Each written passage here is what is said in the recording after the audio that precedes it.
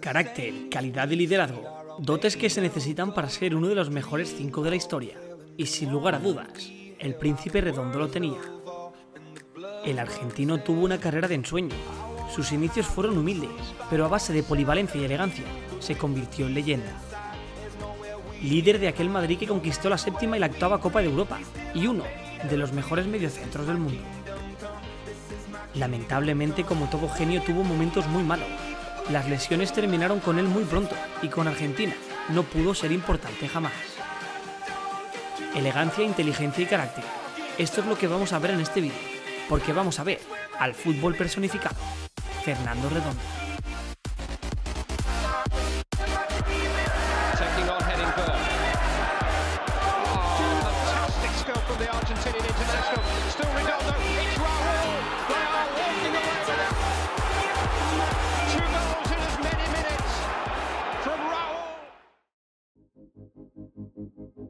Fernando Redondo nació un 6 de junio de 1969 en Androgué, Buenos Aires. Allí creció y dio sus primeras patadas a un balón. A la edad de 6 años empezó a jugar a fútbol sala en un club local. Allí aprendió un fútbol muy técnico.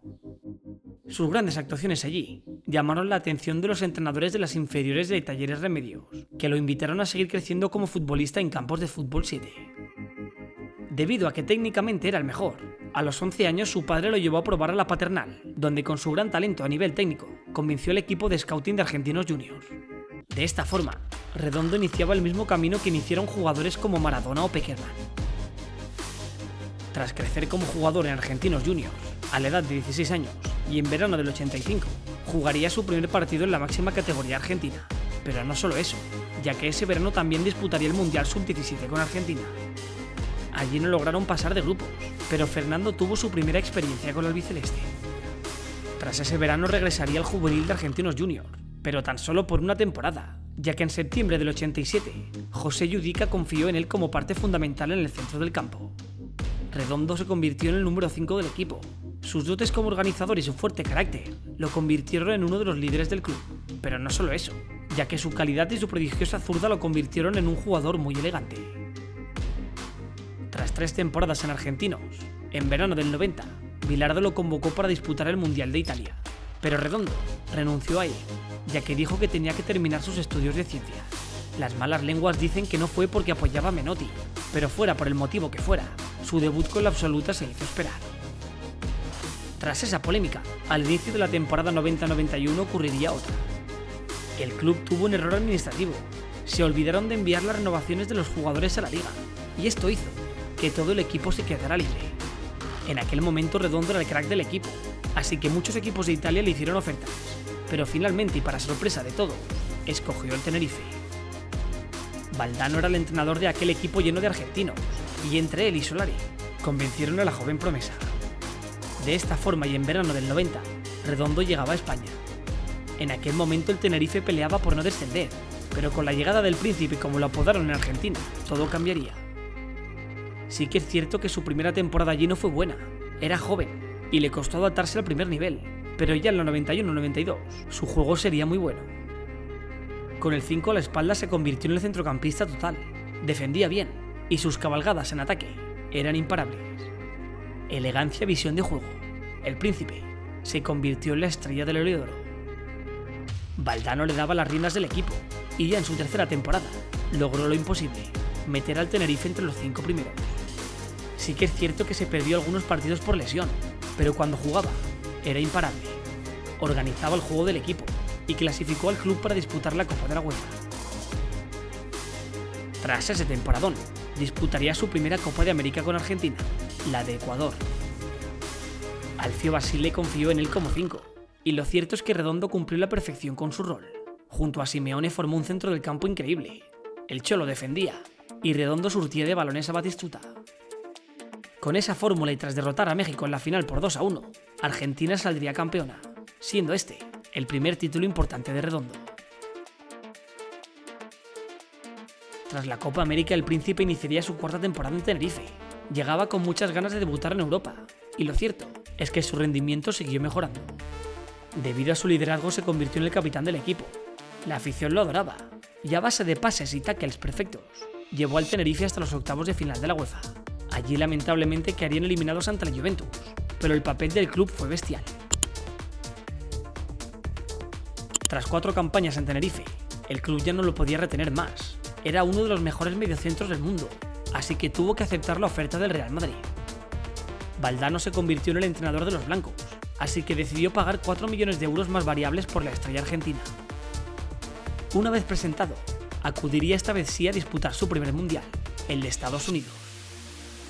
El príncipe llegaba con muchas ganas a aquella competición, pero la sanción a Maradona y algunos problemillas internos hicieron que cayeran antes de tiempo. En octavos se cruzaron con la Rumanía de Jika Agi, donde con un papel estelar de la estrella rumana caerían por 2-3, siendo esta una decepción tremenda para el país. Tras esa derrota, Redondo hizo borrón y cuenta nueva. Su reciente fichaje por el club de sus sueños le llenaba de ilusión. El príncipe llegaba al Bernabéu con 25 años, edad perfecta para explotar, y vaya que sí lo hizo. En su primera temporada, y ya como único mediocentro del equipo, se convirtió en el cerrojo blanco, rol que le sirvió para conquistar su primer título a nivel de clubes, la Liga Española. Su segunda temporada allí, a nivel de títulos, fue muy mala, pero las alegrías llegarían en sus dos siguientes. Tanto la 96-97 como la 97-98 fueron las dos mejores campañas de su carrera. El príncipe era el mejor mediocentro del momento, estaba en todo, era un pulmón en defensa y un cerebro en ataque. Y esto hizo que junto a jugadores como Hierro, Sidorf y Mijatovic se hincharan a ganar títulos. Una nueva liga, una supercopa y el trofeo más ansiado del club, la Liga de Campeones. Aquel triunfo fue una alegría increíble, el club llevaba muchísimos años sin ganar la Champions, y tras derrotar por 1-0 a la Juventus con un tanto de Mijatovic, se hacían con la séptima Copa de Europa. Tras estas dos campañas de ensueño, ocurriría algo que marcó la carrera del príncipe. Pasarela lo convocó para disputar el Mundial del 98, pero con la condición de que se cortara el pelo. Fernando era muy fiel a sus principios, así que tanto él como Canilla renunciaron a hacerlo. No ha sido fácil, ¿no? Que, que es una situación que me duele mucho. En ningún caso renuncio a la selección, sí a trabajar con el, eh, con el cuerpo técnico actual. Esto provocó que se perdiera la competición, pero no solo supuso eso, ya que jamás volvería a disputar una competición oficial con el albiceleste. Tras esa polémica, su paso dorado por Madrid continuaría. Su quinta temporada allí no fue muy buena. Fernando jugaba bien, pero el equipo pasaba por un año de transición, y eso hizo que no lograra ningún título. Pero eso terminó en la siguiente temporada. La 99-2000 jamás será olvidada por los aficionados blancos.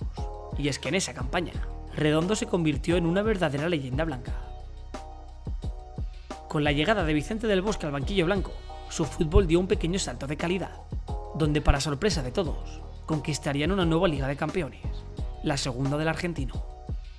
El equipo estaba plagado de jugadores jóvenes y sin ningún crack, pero lograron conquistar el trofeo. Allí Fernando dejó noches inolvidables, como la vuelta de los cuartos de final ante el Manchester United, donde en una demostración de calidad y potencia física, el argentino se inventó un autopase con un taconazo y caño incluido, hasta llegar a línea de fondo y asistir a Raúl, gol con el que se clasificaban a semifinales. Una vez en la final, golearían por 3-0 al Valencia, siendo esta una alegría tremenda para el club. Ya en verano del 2000, y tras seis maravillosas temporadas en Madrid, el Milan decidió pagar 18 millones de euros para hacerse con él. Su salida de Madrid fue un drama para la afición, pero también fue polémica, ya que el club dijo que él se quería marchar y el jugador decía que el club lo quiso vender. Ocurriera lo que ocurriera, el resumen es que tras seis campañas a un gran nivel, Redondo se marchaba a San Siro. El príncipe llegaba a Italia con 31 años.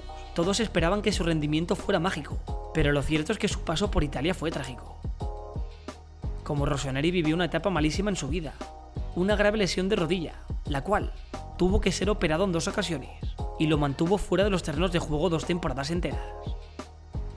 Tras una recuperación dolorosa y larga, en 2002 pudo volver a jugar, pero su nivel ya era muy bajo.